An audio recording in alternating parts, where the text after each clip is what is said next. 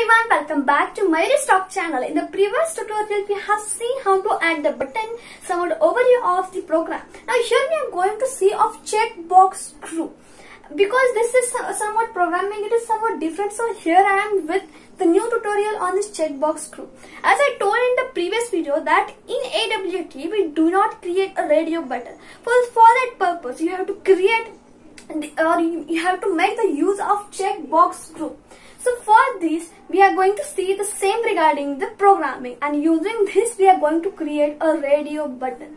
Okay, at the first, I told that these all the whatever the checkbox group, checkbox and the frame, this all things come under which package? Dot .AWT package. For, for first, what thing you should do?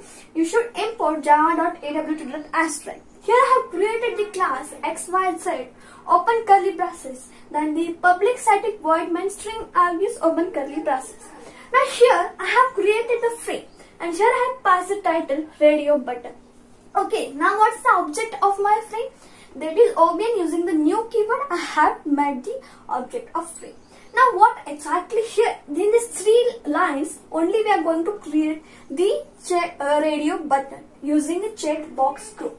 And in checkbox or checkbox tutorial, we have seen that the last constructor, the last constructor of checkbox, using this, we are going to create the radio button. Now here, before going this, just let me tell or introduce this. Now here I have created new checkbox. Here I have created two checkboxes. Now here what I have passed M. That means it will be the label just left to the left side of the checkbox. Checkbox. Now here what have did, here OBJ. What's this? This is the object of checkbox group. For making this radio button, to make this radio button, we are going to pass this object which is OBJ, which is the object of checkbox group. This object, this reference, we are going to pass here. Even if you give this here and this true here, no matter, it will execute your program successfully. So this, and this is what true, that means by default, whenever we will have an output, it will be ticked. That means the radio button will be that on. And here, checkbox B is equal to new. Here, OBJ. Same object, same checkbox with the reference I have passed here. So here I have created the two radio buttons. One is true and one is false. By default, I have kept here.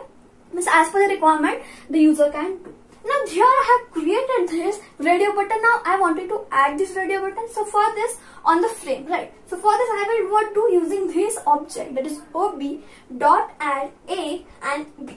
So this object I will add here. So what exactly here the connection will be of this two. As a checkbox so whatever the object you have created you should pass here. And using this only you can create a radio button.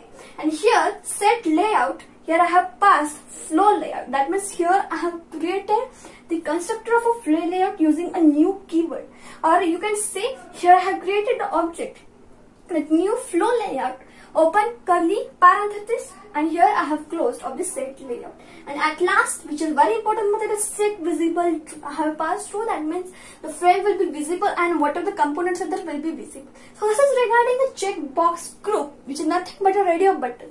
Now here uh, we have seen it. So if you have any kind of question, you can mention in the comment section. And thank you so much for watching this video. Thank you.